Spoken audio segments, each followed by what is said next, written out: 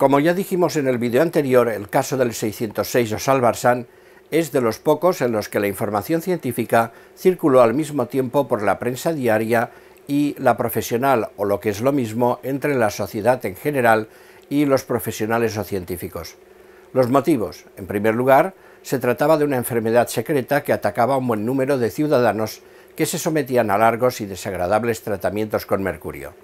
En segundo lugar, el hecho de que alguien hubiera encontrado un nuevo remedio que en una o unas pocas inyecciones curara era noticia de portada. En tercer lugar, los periódicos más importantes contaban con redactores médicos que podían comprender bien los acontecimientos y divulgarlos adecuadamente entre la población. ¿Qué hitos podemos mencionar en este vídeo sobre la historia de la introducción del salvarsan en España?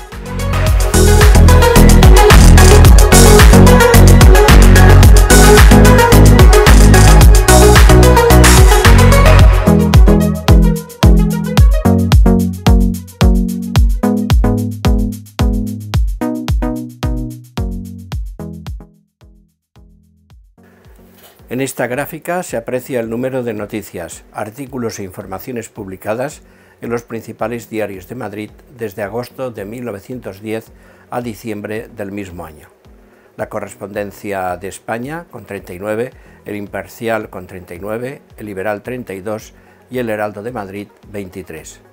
Por meses se aprecia el desarrollo del fenómeno, comienzo, explosión y normalización.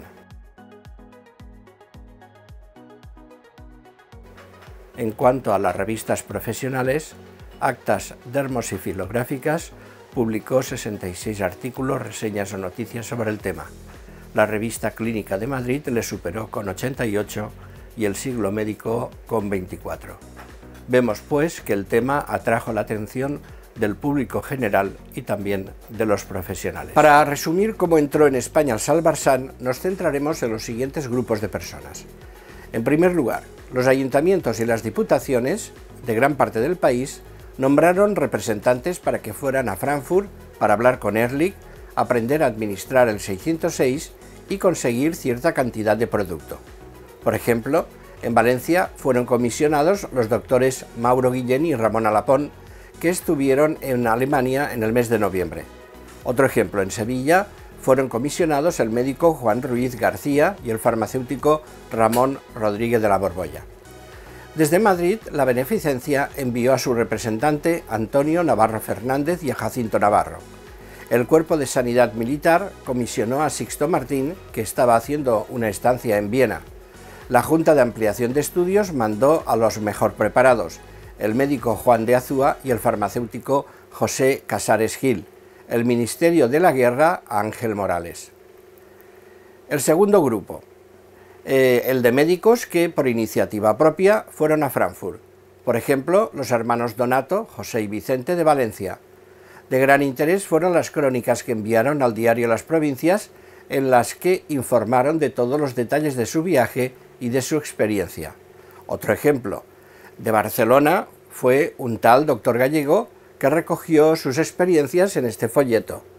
De Madrid fue, por ejemplo, eh, Fernando Castelo. Tercer grupo de personas, la intervención de los médicos publicistas. Ángel Pulido, por ejemplo, trabajaba para El Liberal y colaboraba también en revistas profesionales como El Siglo Médico. Verdes Montenegro lo hacía para El Imparcial. También teníamos médicos que ejercían de periodistas en el extranjero como Eduardo G. Que se encontraba en París. Todos hicieron un buen seguimiento de las novedades que se produjeron en torno al nuevo medicamento. Como decía Castelo, los médicos estamos obligados a satisfacer la curiosidad pública y a orientar a las gentes en temas trascendentales. La primera noticia que apareció en la prensa lo hizo en agosto en El Heraldo de Madrid. Se trataba de la polémica que había en Francia entre Doyen y Ehrlich, lo publicó su corresponsal en París, el admirado y odiado por igual Luis Bonafé. Cuatro días después, el médico José Verdes Montenegro, desde Alemania, publicó en el Imparcial información de primera mano del nuevo producto y de los ensayos clínicos que tenían lugar en Alemania. En septiembre, Gereda, Verdes Montenegro, Fernando Castelo, Sixto Martín, Francisco Huertas, que en realidad el artículo fue escrito por Marañón, y Vandelac de Pariente mandaron sus artículos a distintos diarios. Como veremos, fue el mes en el que se hicieron ya las primeras pruebas en España. La prensa siguió informando de los acontecimientos. Algunos columnistas no médicos habían introducido en sus artículos de opinión el 606.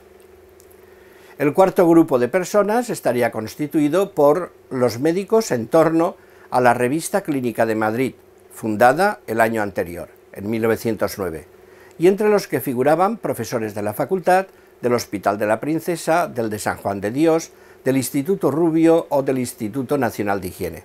Figuras como Marañón, Juan Madinabeitia, Jacobo López Elizagaray, José Ortiz de la Torre, León Cardenal y Pujals, José Goyanes Capdevila, Nicolás Achúgarro, Teófilo Hernando y Gustavo Pitaluga o Miguel Gallarre Espinal, entre otros. Fue en esta revista en la que Sainz de Aja publicó las primeras reseñas sobre el nuevo medicamento en el mes de junio. En agosto apareció la reseña del libro de Ehrlich, Beiträge sur experimentelle Pathologie und Chemotherapie por Madina Beitia. En el mismo número, Gallarre hizo una reseña del artículo El nuevo medicamento de Ehrlich. El 15 de septiembre, Marañón publicó un largo artículo titulado La quimioterapia moderna, el nuevo remedio de Ehrlich Hatta contra la sífilis, que había remitido desde Frankfurt. En el mismo número, Gallarre informa de los distintos modos de inyección que se utilizaban en Alemania. En octubre, Teófilo Hernández escribe sobre la farmacología de los arsenicales. En los números siguientes se sigue la misma tónica. Teófilo Hernando publicó el folleto La quimioterapia de Ehrlich, fundamentos y aplicaciones. Y también apareció la reseña de Marañón del libro de Ehrlich y Hatta, La quimioterapia experimental de las espirilosis.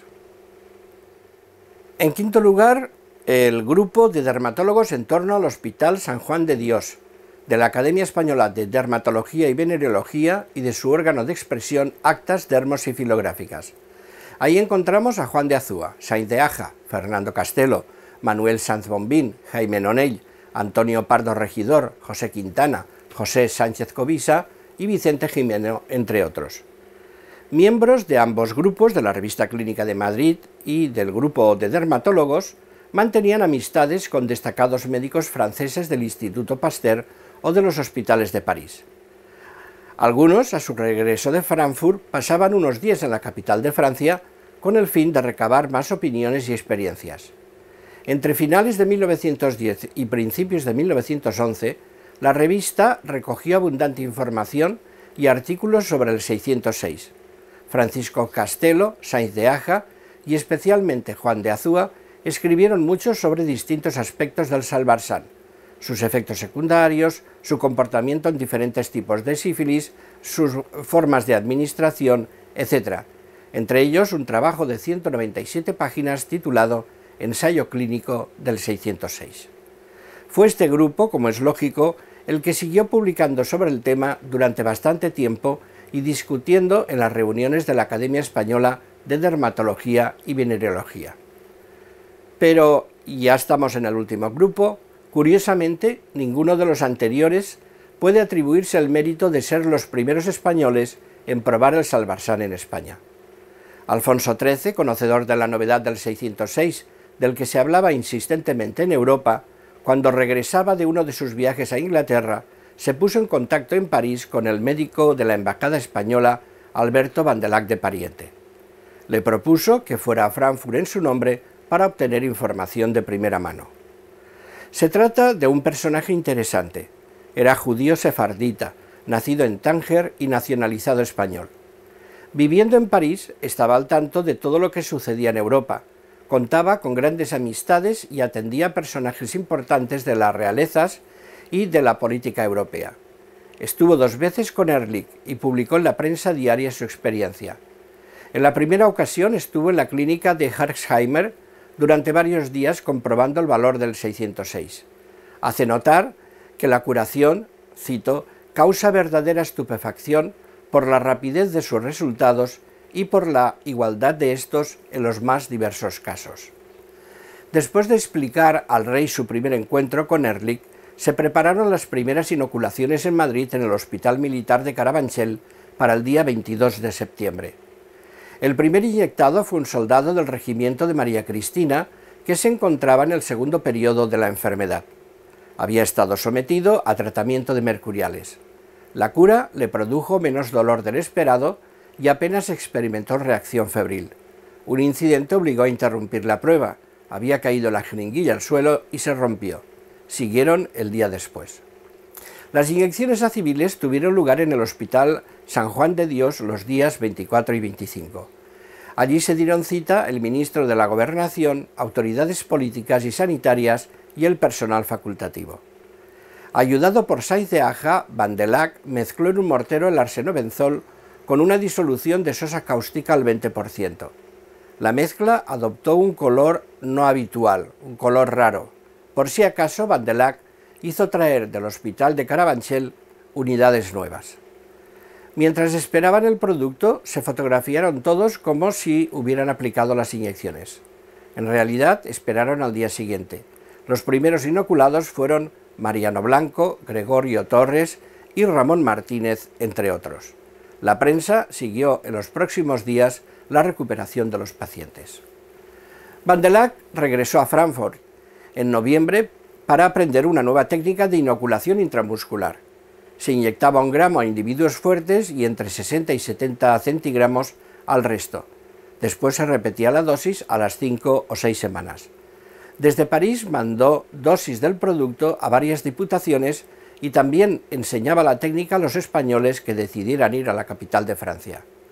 Los colegas médicos españoles respetaron la decisión de Alfonso XIII. Solo el republicano El País se mostró en contra. Opinaba que en España había suficientes especialistas preparados como para ocuparse del tema. En definitiva, el estudio de este hecho nos ha puesto de manifiesto varias cosas. En primer lugar, el alto nivel de muchos científicos españoles, su capacidad para viajar e intercambiar información con sus colegas europeos. Hemos visto que durante el periodo estudiado varios estaban realizando estancias en centros europeos. Otra cosa es que aquí las inversiones en recursos humanos e infraestructuras no estuviesen a la altura como sigue ocurriendo. En segundo lugar, la preocupación social por el tema impregnó a todas las capas de la población. Puede seguirse a través de la prensa diaria que se expresa en columnas de opinión, viñetas cómicas, a propósitos, etc. En tercer lugar, el interés de la prensa en divulgar acontecimientos científicos con el mayor rigor y precisión apoyándose en crónicas de los propios médicos. En cuarto lugar, el interés de los ayuntamientos y diputaciones de toda España en conseguir el nuevo medicamento para sus ciudadanos. La cuestión es que en diciembre el medicamento podía adquirirse en muchas farmacias y que se administraba ya tanto en instituciones públicas como en clínicas privadas. En un último vídeo ofreceremos la historia del tratamiento de la sífilis con fuentes materiales de la época y nos extenderemos en el uso de las distintas formas de salvarse. Hasta entonces.